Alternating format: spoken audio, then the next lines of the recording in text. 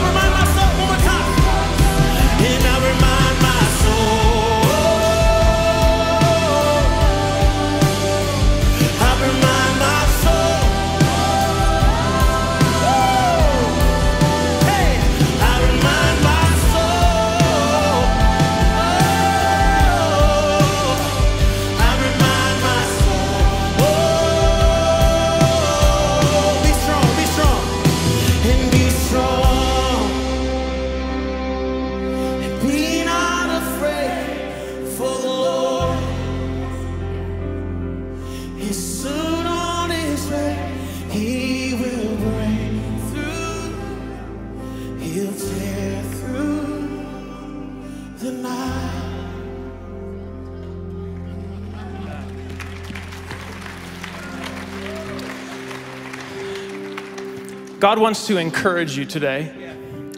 To encourage means to give someone courage, and someone, maybe many of us in the room, we feel like we don't have what it takes to keep going. To walk out of the room and say, Yeah, I have the strength I need to fulfill the call that God has placed on my life. And I believe so, so much right now. God wants to encourage you. When He says, Be strong, you need to know the kind of father that God is. God is not the father who finds a child who gets afraid of something and he thinks you shouldn't be afraid of that, so just be strong. Don't be afraid. That's that's not God. That's not what he's like. You know what he's like? He says, "Be not afraid, for I am with you." He's the father who says, Yeah, I get that that's scary. I understand why that scares your heart. From the position you're sitting in, that makes a lot of sense. And I know I can't sense you into knowing that you should not be afraid, but here's what I can do I can be with you. And this is what God wants you to hear today. You might be afraid, but He's saying, Be strong, be not afraid, for I am with you. And sometimes we're seeking the answer and we say, God, what is the answer to this? Why are the days so evil? Why are the days so dark? And there are times where God will speak a word and we will sense an answer. But can I tell you, there's many times I don't have an answer. But what you get every single time you come to God is you get Him. So today, we got to sing that chorus one more time because if you came in and you sense what I sense, you said, How do I have the courage to continue? How do I have the courage to walk back out into the darkness and bring the light of Jesus? Here's how you do it He's with you, He's with us. So, what we're going to sing is we're going to open up our eyes and we're going to see towards heaven and open our hands and say, God, we remind our souls that you're with us here right now. So, why don't you just open your hands and let's sing that together? Come on, lift your voice, sing.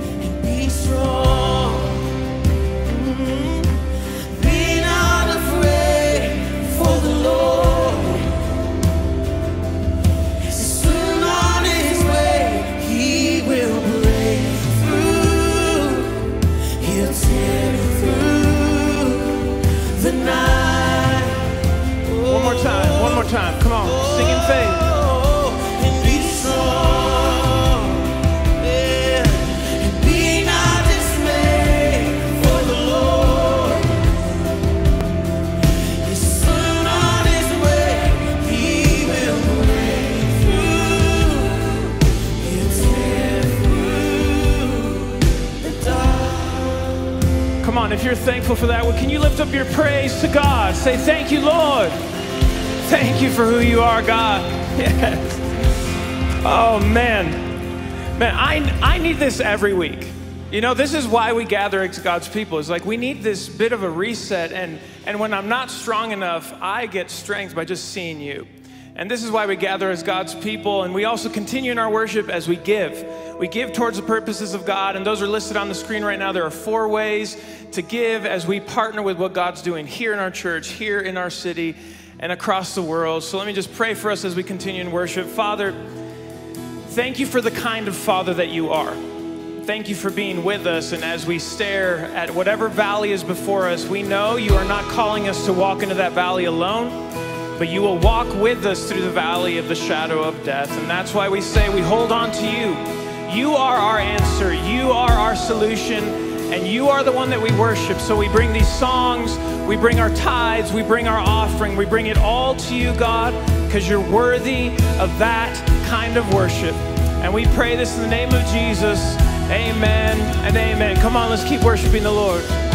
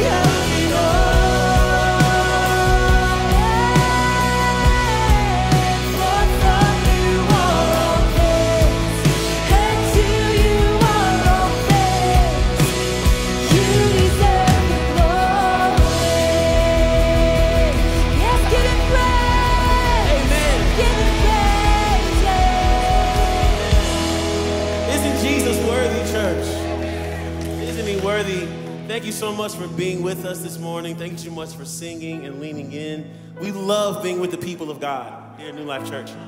In a moment, we're going to continue with our service. Pastor Brady is bringing the word again this week. But before, before he does that, how about you turn to the left of you, to the right of you, shake someone's hand, hug someone, greet someone with the love of the Lord this morning. We'll be right back.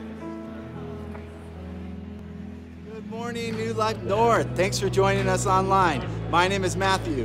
And my name is Beth. If this is your first time joining in today, or if you just want some more information on some of our ministries, you can click the link below. And if you're on Facebook or YouTube, would you chat below where you're joining us from so we can say hi? All right, now it's time to lean in, grab your Bibles, grab your notebooks, and let's listen to an incredible message together.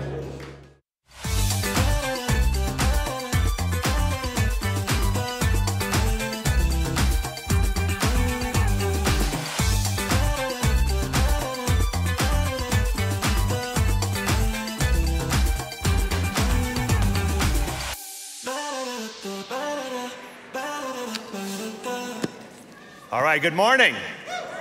How are you? You doing good? Doing okay? Come on, shout back at me. You doing okay? All right. Good worship. I needed every song we sang this morning.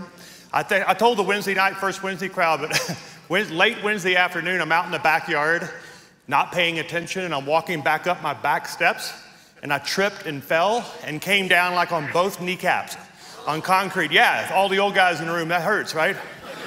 So, so if you see me like walking a little gingerly, I didn't break anything, but you know, when you're 56, there's no gracious way to like fall. And when you fall, you feel like Jabba the Hutt. You just can't move, right? Just- so anyway, I'm slowly recovering, but I do have some pretty good bruises. I, I, I would like to show you, but I'm not. Okay, it's just too much for you to see today if you saw bruised kneecaps from the old guy. Okay, so anyway, it's good. It's good to be here. I thought, you know, I feel blessed to be here today with you guys. Not one thing, it's the other, right? So, so good. Turn in your Bibles to 1 John. 1 John. A lot of you know if you've been coming to church, I'm a, I'm a really big sports fan. It's a borderline idol to me. I mean, I love sports. I played sports in high school, won a state championship my senior year of high school in baseball, went to uh, college. I was a sports editor for my college newspaper. I was the guy that did the PA announcing at football and baseball games. Now batting number 33, I, would, I was that guy. And then I did play by play on the radio for college, high school, and professional sports teams. I was uh, the double A s- radio broadcaster for the San Francisco Giants for three years when I was a young man. So I'm saying all that, sports is a big deal to me. I know sports, I understand sports, I coach. I, I, if I probably wasn't a pastor, I would probably be a coach or a broadcaster or something like that, you know? So the reason I'm saying that is I know sports. And I know uh, that the great teams, the really great championship teams, regardless of the sport, the really great effective teams have plays in their playbook that when they run those plays, they work. When LeBron James is coming down the middle of the court and he is determined to get to the, to the hoop, he's going to get to the basket. He's 6'8, 250 pounds. You're not going to stop him. There's just something great about watching these athletes when they make up their mind and everyone knows what they're about to do, they still get it done. Now, that's sports. We have an enemy who's been running the same three plays from the beginning of time. Three temptations. And we find these temptations in the Genesis. Genesis chapter 3 is when we first see this playbook opened up to us. And then it's repeated to us in 1 John chapter 2. Three temptations. So in last week we talked about walking in the light. We talked about what does it mean to come into the light? What does it mean to be brought out of darkness into his marvelous light? In chapter 2, what we're going to look at today, John describes the way the world motivates us compared to the way that God motivates us. So you know you're being motivated, right? You know you're being manipulated and motivated. Do you know that, right? From the moment you walked up, woke, up this morning, from the moment you looked at a video screen or turned on your television or whatever you do, whatever information you receive today, their desire is to motivate you or to manipulate you into behaving or believing a certain way. We, that, that's true, right? I'm not making that up, and I'm not trying to say it's all evil. A lot of people like me today, I'm trying to motivate you, not manipulate you. I will never manipulate, but I am certainly trying to motivate you today to read 1 John 2 on your own and to say yes to a better way of living your life. So I want to say that up front. I'm here today to motivate you toward a life of living, serving, and following Jesus. That is in my heart. I want to confess that before you today. That's the only motivation I have. So, the question I have today, if that is my primary motivation, is to help us to fall in love with Jesus and follow Jesus more completely, more fully, more be, be better people for following Jesus. What draws us away from God's best? What is really drawing us away from Jesus right now? So we, you know, wake up every day. Pam and I, we've been married 33 years, and we have this uh, saying in our marriage. It's like every day, Pam and I want to lean in toward one another. The reason we've been happily, mostly happily married for 33 years, I tell people we have a semi-glorious marriage. It's not always perfect. I don't want to paint that picture. We fuss every once in a while. Pam wins, and I get over it, right? That's how it all works out. But the way you stay married, all the married couples, if you want to be married, if you know someone who's married, if any, really any relationship of any importance in your life, if you want a close friend, a, a business partner, this is the way you keep those relationships healthy. You lean toward them. In other words, physically, emotionally, mentally, you're leaning toward one another. You're not pulling against one another. You're not fighting against one another. You're not competing with one another. You're complementing one another, right? Leaning toward one another. Well, this is also the way you stay close to Jesus. You have to wake up every morning and say, I'm going to lean in toward Jesus, and I'm going to be aware of forces that want to pull me away from Jesus. And those are evil forces in the world. Listen very carefully. I want to be very clear about that. We have evil forces in the world that are very real, that really do want you to turn away from Jesus. And these forces are world class at what they do. They're very, very skilled at pulling you away from Jesus. Now, the good news is these very skilled enemies were all defeated at the cross. Every one of them, all of them, every one of them. so we, we, we serve the victorious King, the resurrected one. The resurrection is what caused us now to be able to live in the fullness of the victory, right? All right, now John knows this. The writer of this book knew Jesus personally. And I said last week there's some debate about which John actually wrote First John. It could be John the Elder or John the Revelator. But either way, either person, both people followed Jesus. They talked with Jesus personally. They saw him after the resurrection. They were firsthand witnesses of the life of Jesus, in other words. All right, let's open up the Bible, 1 John chapter 2, verse 7. Very important that we catch this, it's verse 7. John is telling the people, I am not writing you a new command. You know, this is really the whole point of church. It's not to come here and learn something new. Now, it may be new to some of you, but most of the time, what you hear in church is not something new, it's something true. In other words, if it's new, it's probably not true. And if it is true, it's probably not new. Come on, somebody say amen. So I'm not here today to bring some new thing to you. What I want to do is preach something that is true to you. That's why John says here, I'm not writing you a new command, but an old one, which you have had from the beginning. Now, what is he talking about? Now, he's talking primarily to a Jewish audience.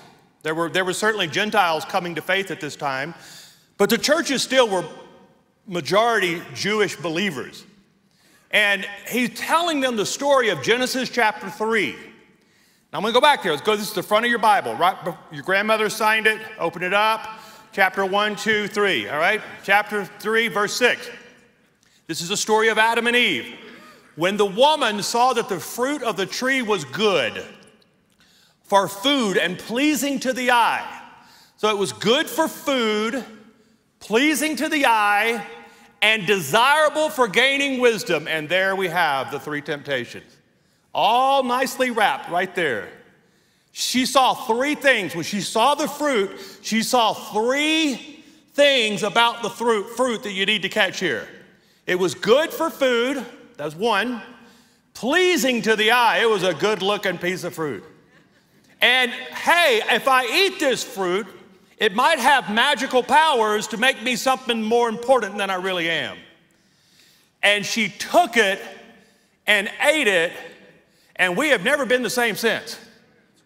And she also gave some to her husband who was with her, and he didn't ask any questions. He did exactly what his wife told him and ate it. And we've never been the same since. All right, now catch that. It was good, it looked good, it tasted good, and it had magical powers. All right, to go back to 1 John now. Go back, flip. I'll give you five seconds to flip back. 1 John chapter 2, verse 15. Now remember, John is about to tell us what keeps us from walking in the light. J- chapter 1, walk in the light. Chapter 2, this is what's going to keep you in the darkness if you're not careful. Verse 15, he says, Do not love the world or the things in the world. We probably could camp out right there for about the next 12 years.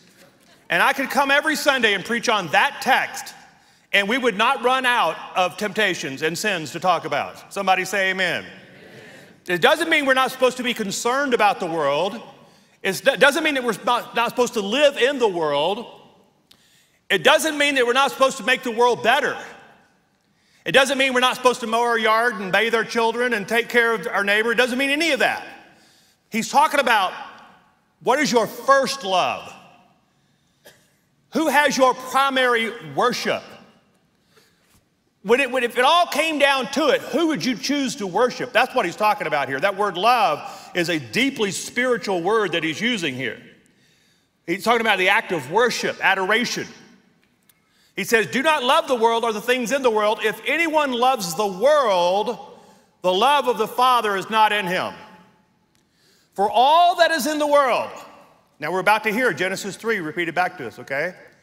For all that is in the world, here's the three temptations the lust of the flesh, the lust of the eyes, what you see, longing for something, seeing something, and the pride of life, wanting to be something that you're not. It is not of the Father, but of the world. And the world is passing away, and the lust of it.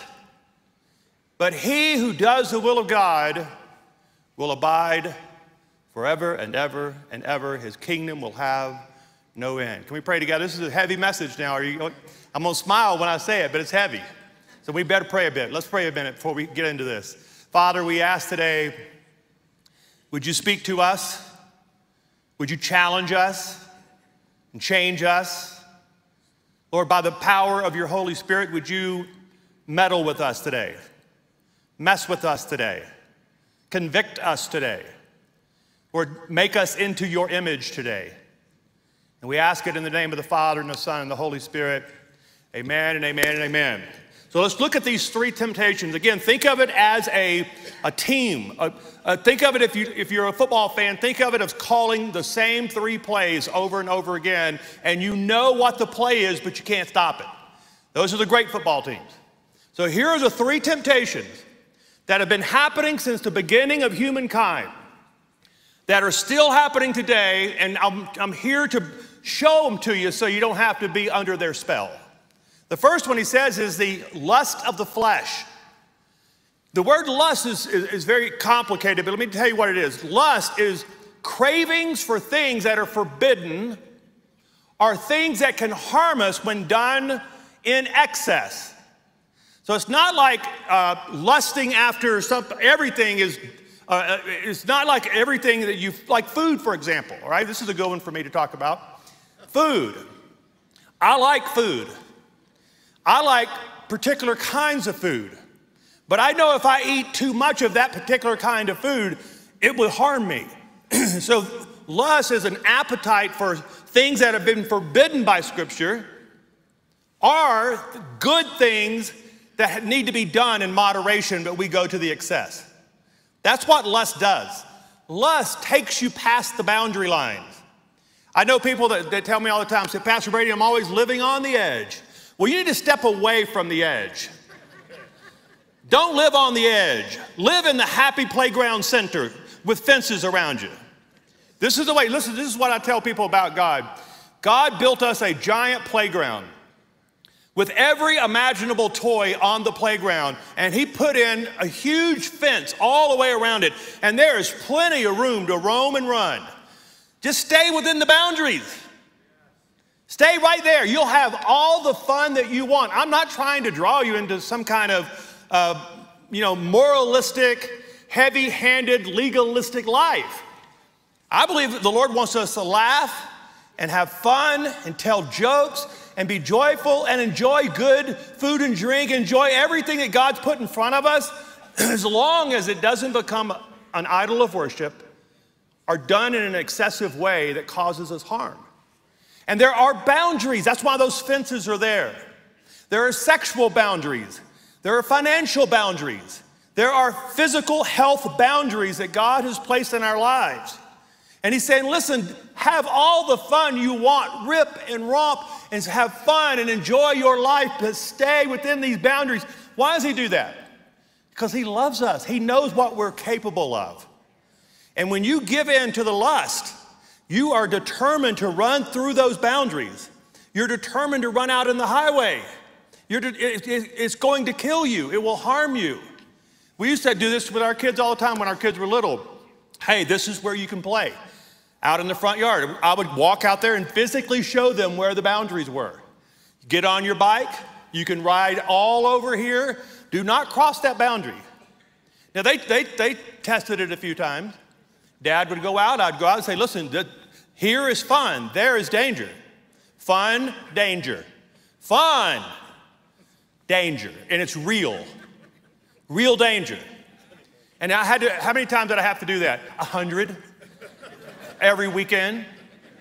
Listen, I mean, how many times your parents have to tell you to pick up your clothes? A hundred every weekend? Then this is what God's doing today. He's saying, listen, these are good boundaries. He's not trying to take joy out of your life. He's trying to give joy back to you. Joy unspeakable and full of glory. He is the God of joy, but He's also the God of boundaries. So Eve, even when she saw the fruit, He had established boundaries. What did God, what did God say to Adam and Eve? Eat everything. There's plenty of food in the Garden of Eden. Just don't eat that. But when Eve saw that, she said, The fruit is good for food. You see, lust is meeting legitimate appetites in illegitimate ways. There's, you know, we all need certain things. We need food, we need water, we need to put our feet in dirt. Basically, we're all potted plants with complex emotions. You know, you need the same thing your potted plant needs. You need to put your feet in the dirt every once in a while. You need some water and you need some sunshine every day. We're potted plants with complex emotions, right? Somebody say amen. That's who we are. So we have these legitimate needs. We need food and water and shelter. We need community. We need human contact. Some of you need less than others. Some of the introverts say, I don't need that much. I need a little, not a lot. All the extroverts say, I can't get enough, right? So, but we all need it.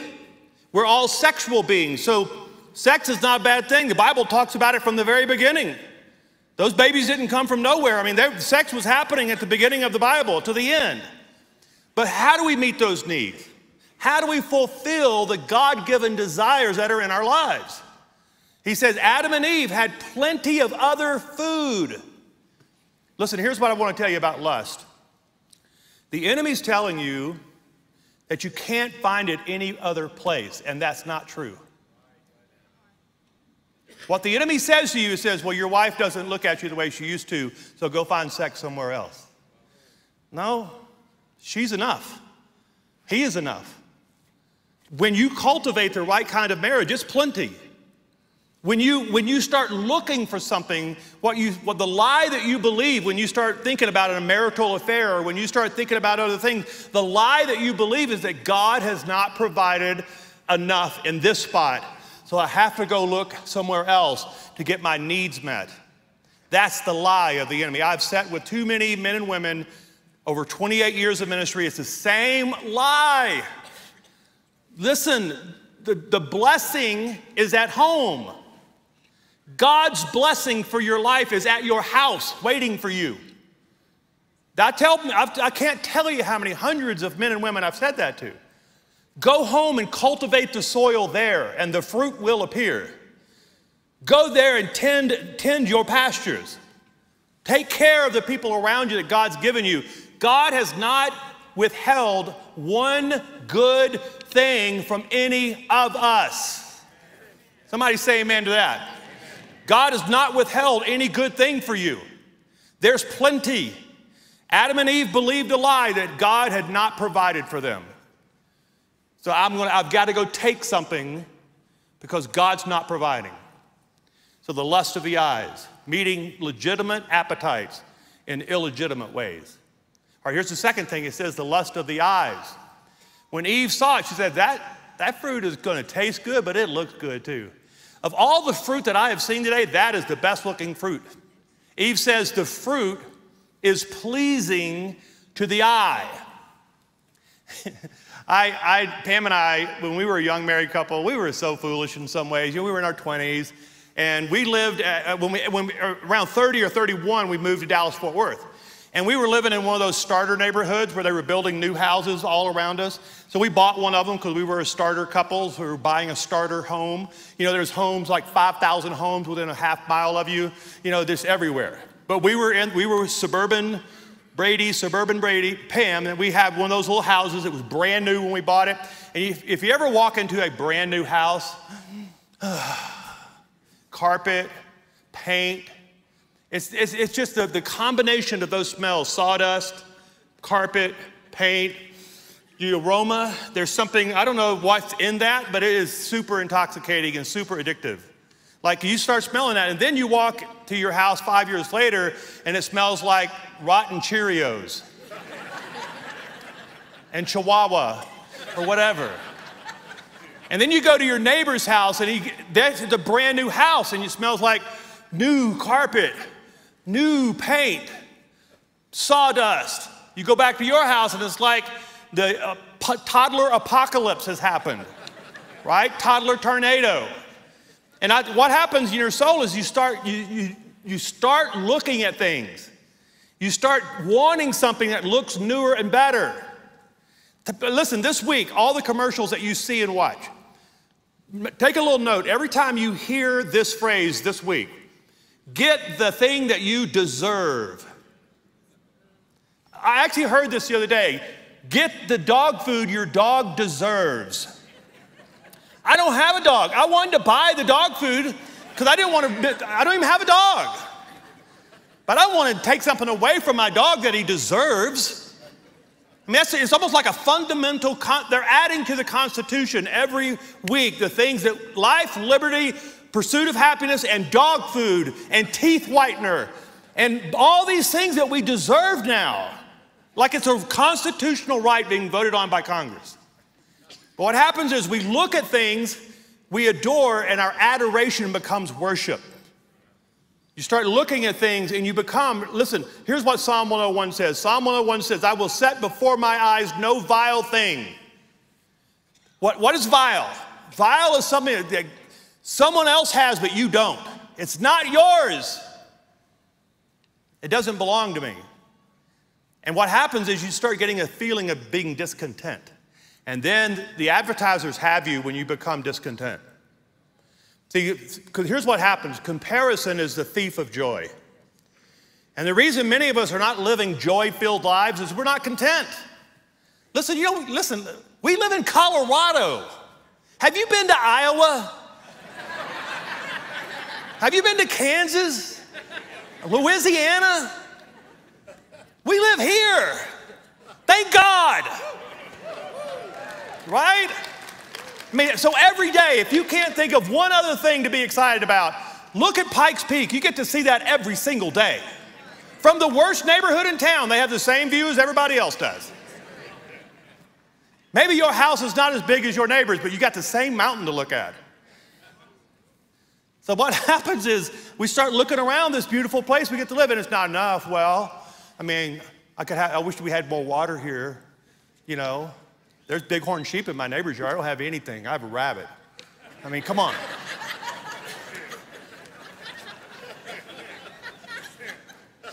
Appetites are normal and they can be satisfied, but lust is never satisfied. Lust is lust of the eyes. It's never enough. That's better and bigger. I should have that. I need that. Listen, I tell young married couples all the time buy a car, pay cash for it, and drive it until the wheels fall off of it. And refuse to get in your friend's new car because it's going to wreck you. Keep, it, keep yours clean, okay? Spray some stuff in it or something. But don't go sit in the other one because you'll start comparing. I need a new car. They have a 40 inch flat screen in the front of their car now. I mean, look at this. I still got a knob on my radio. They have like a flat screen. Psalm 119 Turn my heart away. Turn my heart toward your statutes and not toward selfish gain. Turn my eyes away from worthless things. This is a good prayer to pray. Turn, my, Lord, today I pray that my eyes would be locked in on the blessings that you have given me and not the things that I deserve, but the things that I have. Lord, help me to determine what is a need and what is a want. And they're, they're not the same, by the way. I need food, I need water, I need shelter. I want a lot of other stuff. Determining that. He says, You preserve my life according to your word. Here's the third thing the third, third temptation is the pride of life. I am greater than I think. We have it, most of us are living in two realities. We have a really low opinion of ourselves, or we have a very exalted opinion of ourselves. And the happy medium is where God wants us to be. Listen, you know, you know, one of the joys of getting older is knowing who I am and knowing who I'm not and being okay with that. That's really got to be, that's got to be true for all of us at some point now. And I give people in there, eh, you know, students, college age kids, 20s and 30 somethings, I give you a lot of grace because you're still trying to figure that out. But by the time you hit 40, you should be hitting your stride. You should know the lane you should be running in, right? Run your, in your lane, the one that God gave you, run. You're looking around for another race to run. You don't even like the sport you're in. Now run your race. Look at the thing, look how he mapped it out for us. Eve said, This fruit will give me wisdom. But What she was saying was, This fruit will make me God less likely to call on the Lord, is what she was saying. If I eat this, I'm not going to need God as much. So, asking for wisdom, the Bible is very clear about us asking for wisdom. What she was saying was, if I eat this fruit, I am going to become more like God and less needy of Him. I will not want to take so many walks in the morning. You know what happened after they sinned? God shows up for His morning walk with them and they're hiding from Him. I don't know about you, but I would give everything in my life to walk with God every morning like that. Physically walk with Jesus every morning. I mean, every, there's not one thing I own I wouldn't give away for that. But they, they, the first thing they surrendered after they sinned was their morning walk. Companionship with God Himself, who would come down in the cool of the morning to check on them, physically check on them. And one morning, He shows up for the walk and they're hiding. Why? Because they had bought into a lie that we really don't need God as much. I did this. Here's, here's, a, here's the lie, okay? I did this. Look what I have done. I was on the phone. I have, I have mentors. I have some older pastors that I call. And I called both of them on the same day this week and just was giving them a report, telling them, you know, good, bad, the ugly that's happening. And they, they give me such good feedback. They pray over me. They give me good, wise counsel. And they, they, they check on me. They ask about Pam and the kids. And this one, one of my friends said to me this week, he said, Pastor Brady, you have so much to give God glory over. I went, I, I needed to hear that. You have so much going on in your life that you can give God glory for it. Give God glory for all of it. And it wasn't because I was being cocky or prideful. He was just, as a good mentor, he was saying to me, Pastor Brady, the Lord's blessed you. Tell him, tell him that he's blessed you. Tell, remind God of how good he is. Not because he's some egomaniac out there that just needs constant affirmation. He's not that. It's because it's for us, right?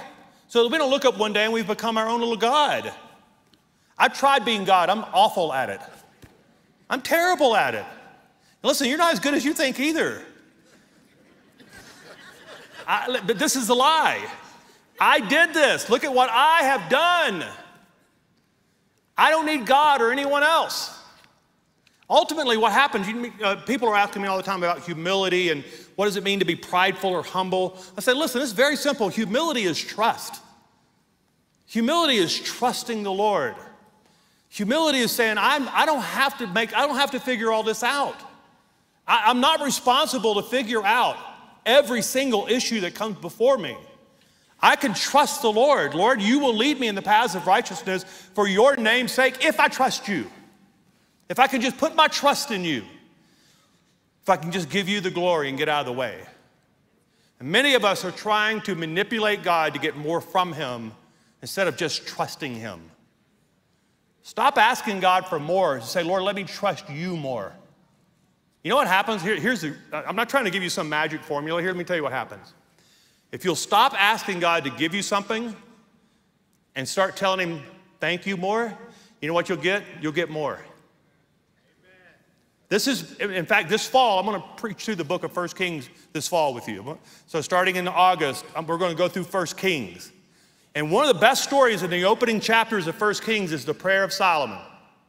Solomon said, Lord, I cannot, I don't have enough wisdom, enough power to rule over a kingdom this big. So, Lord, would you just give me wisdom? I don't need uh, horses or chariots or wealth or the defeat of my enemies. Just give me wisdom. And the Lord said, I will give you wisdom and I will give you everything that you did not ask for. The table of Jesus is a reversal of the Garden of Eden. What, we, what we're about to do is a complete reversal. And I want you to think about the elements that we're taking. It's very important to understand it's bread and wine.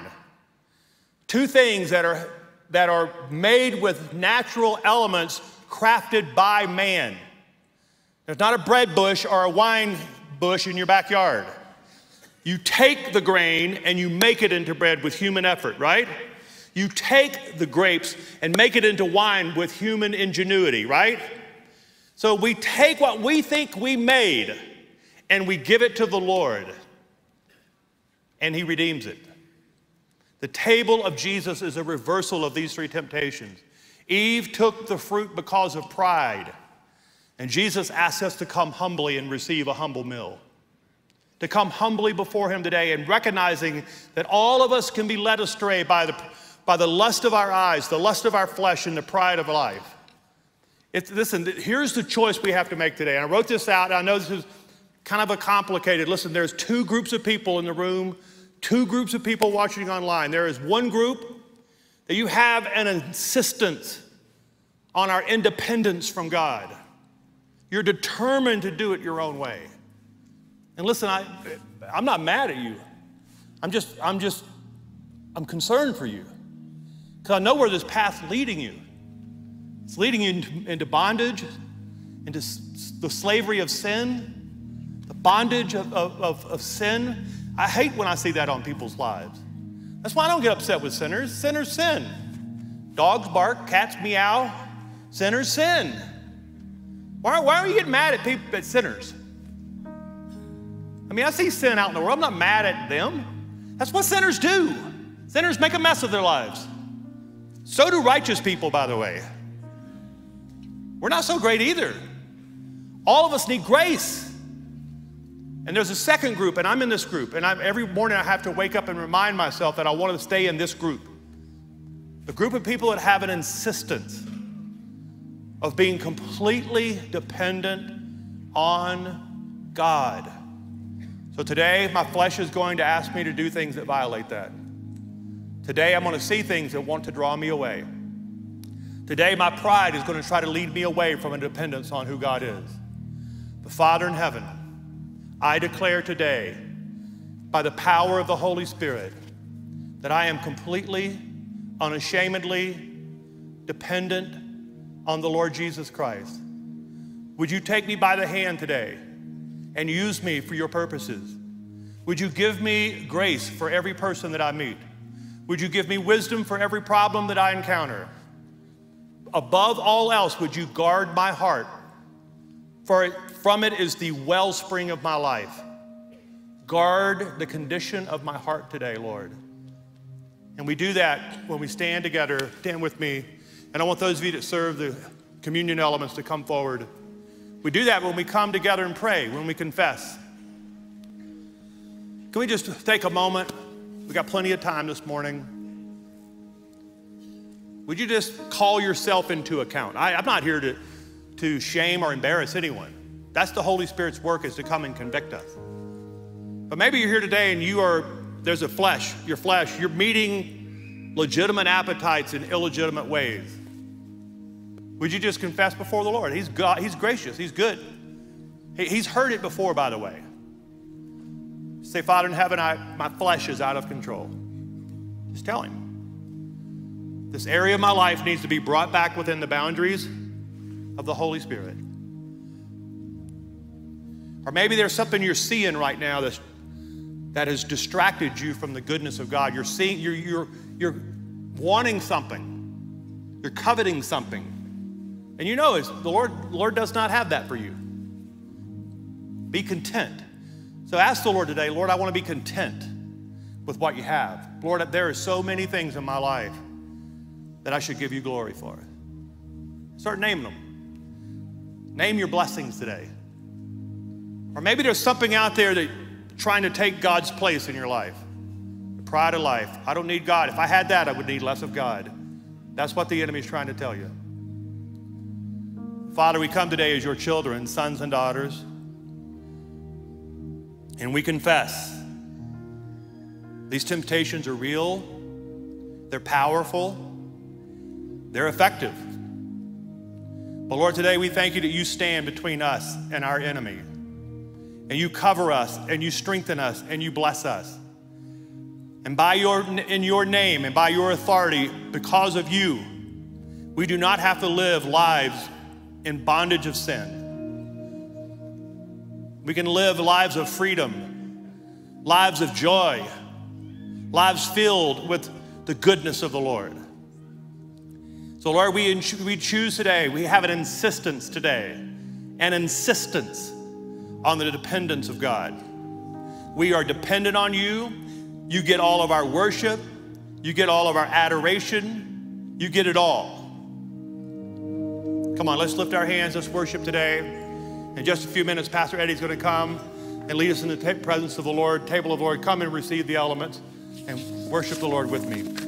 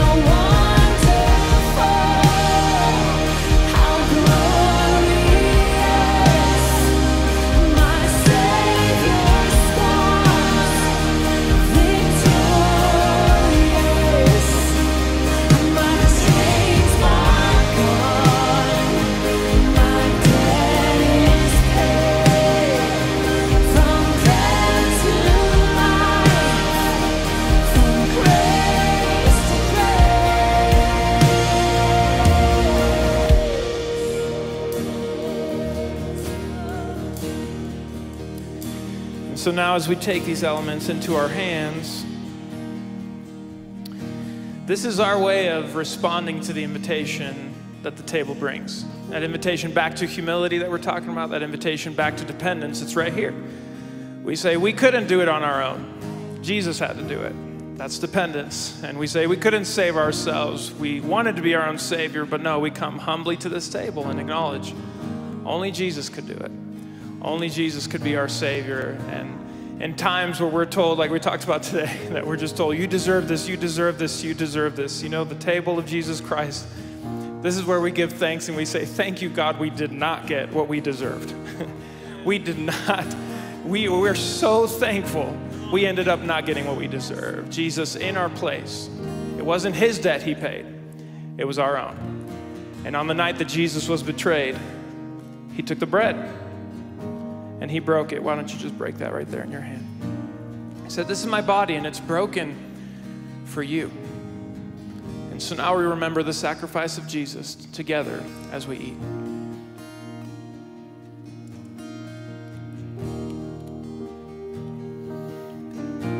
After supper, he took the cup. He said, This is the blood of my new covenant. I'm establishing a relationship between you and me, and it took the price of my own blood, and I shed it for the forgiveness of, you, of your sins. And so now, as often we drink it, we drink it in remembrance of him. Come on, let's respond and worship together. Let's sing to the Lord.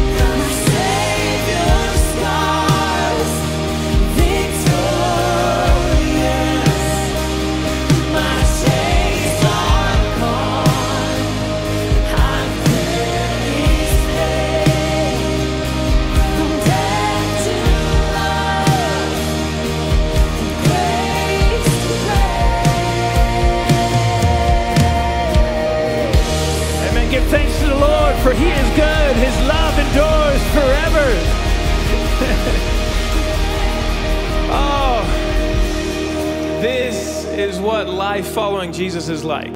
Yes, there are boundaries, but it's for our good. We're the ones enjoying all the blessings. And I walk out of here with that fresh reminder of like this the boundaries are in place, but inside that playground is joy. There's fullness of joy. The greatest life that is available to us is available in Jesus Christ. And I'm so thankful that we got to experience that here together this morning. And if you're if you're new here, uh, we'd love to meet you. We'd love to answer any questions that you have over at Connect Central, out these middle doors to the left, right there in that corner. We'd love to meet you, answer any questions that you have. Also, want to invite the prayer team. If you guys can go ahead and come forward, because as soon as I conclude the service, if there's any one of you who, who would like to stay here and have someone pray for you specifically about something that's going on in your life, We'd really love that opportunity. We'd love that privilege to get to pray with you at the end of the service. Also, want to let you know that we have section gatherings for sections one and two. All right, you guys, it's your day. Section gatherings, stick around. You can just uh, head over to that space and enjoy uh, some food together. Enjoy some food with God's people. Well, before we head out, can I just pray for you? Why don't you just open your hands? I want to pray a, a blessing over us as we head out. Father, I pray for my brothers and I pray for my sisters standing in this room. I pray that for all the things that are going to get thrown at them this week, that are going to get put in front of their eyes, the, the things that they're going to be tempted to lust after that are not the things you have for them, that the lies that are going to be spoken over them saying, you actually don't need God, you can just do it your way. Right now, God, I pray in the name of Jesus that all that would fade into the background and that would come into the foreground is just Jesus, Jesus, Jesus. I pray that as we walk out here that we would be strengthened by the power of your Holy Spirit to walk into the calling to which we've been called. And I pray this in the name of Jesus. All God's people said, Amen. Amen. So good worshiping with you. We'll see you next week.